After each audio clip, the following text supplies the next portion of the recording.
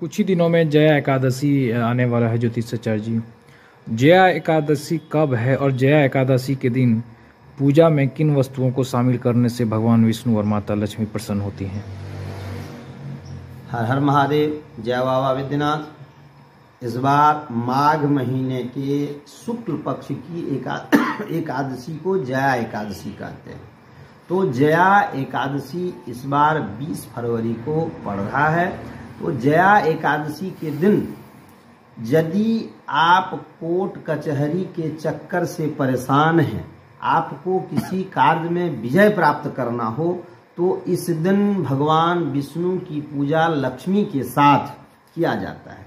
यदि उस दिन आप विष्णु भगवान की पूजा लक्ष्मी के साथ करते हैं और पूजा में कुछ वस्तुएँ को आप शामिल करते हैं, ज़्यादा तो निश्चित है आपको सभी मनोकामनाएँ पूर्ण होकर के आपको जय की प्राप्ति होगी, आप विजय प्राप्त करेंगे।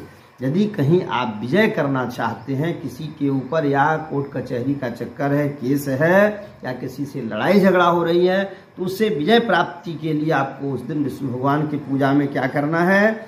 सफ़ेद तिल और सफ़ेद तिल का लड्डू बनाना है। भगवान को चढ़ाना है, तुलसी का पत्ता ज़रूर होना चाहिए और पीला कपड़ा भगवान को प्रिय होता है, केला फल, पीला कपड़ा और पीला कनेल का फूल।